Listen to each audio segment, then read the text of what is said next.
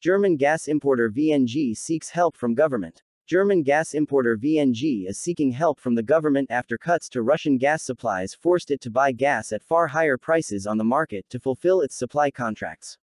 Energy company ENBW, which has a majority stake in VNG, said Friday that its subsidiary was submitting an application for stabilization measures to the Economy Ministry to avert further damage and to enable the VNG Group's business operations as a whole to continue.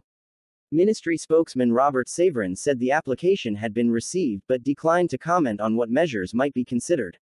VNG supplies gas to about 400 municipal utilities and industrial operators and met about 20% of German gas requirements last year, according to ENBW. The move comes after the government in July announced that it would take a roughly 30% stake in Uniper, which has been Germany's biggest importer of Russian gas, as part of a rescue package prompted by surging prices for natural gas and reduced Russian deliveries.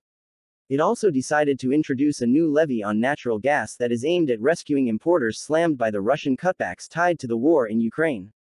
The government later moved to lower the value added tax on gas from 19% to 7% until the end of March 2024 in an effort to make up for the effect of the surcharge.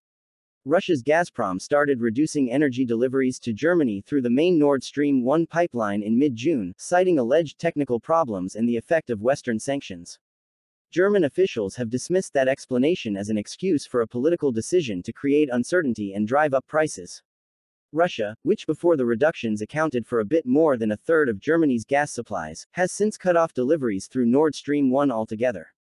Chancellor Olaf Scholz said Wednesday that Germany is well placed to get through this winter with enough energy thanks to efforts to shore up supplies from elsewhere and ensure that storage facilities are filled.